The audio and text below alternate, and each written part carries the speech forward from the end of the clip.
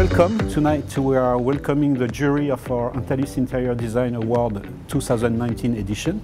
My name is Christophe Burkhardt. I'm a managing director for IWG in France, global leader in the space of uh, flexible working and co-working spaces.